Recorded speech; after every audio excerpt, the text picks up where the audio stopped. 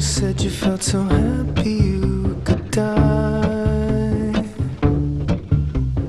I told myself that you were right for me, but felt so lonely in your company. But that was love, and an ache I still remember.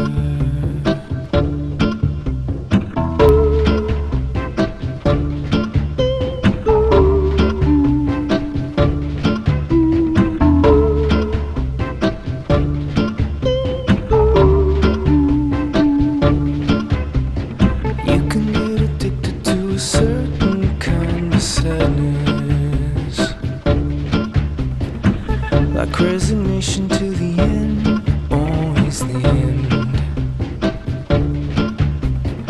So when we found that we could not make sense, well, you said that we would still be friends, but I.